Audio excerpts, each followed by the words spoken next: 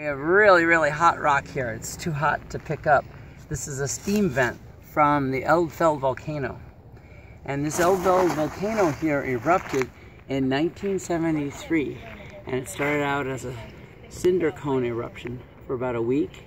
And then and it started to threaten the town and actually buried about one fourth of the town so that 400 houses are still under the lava.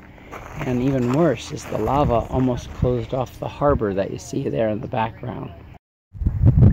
So this is a house that was destroyed by the cinders. There are 400 homes destroyed like this. The number one way they were destroyed was the weight of the cinders would break the roof, as you can see here by the eaves because cinders are pretty heavy. They're about twice as heavy as snow or ice.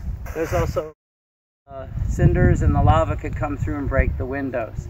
But what it exposes something interesting is whatever was fashionable in 1973, including green curtains.